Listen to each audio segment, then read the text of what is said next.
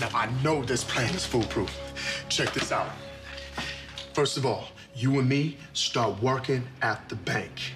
Doesn't matter the position, okay? Just so long as we get in there, right?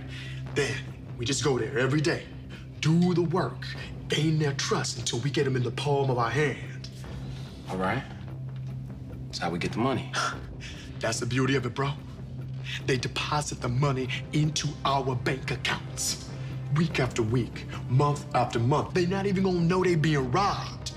And then 20, 30 years later, we walk out the front door like nothing even happened.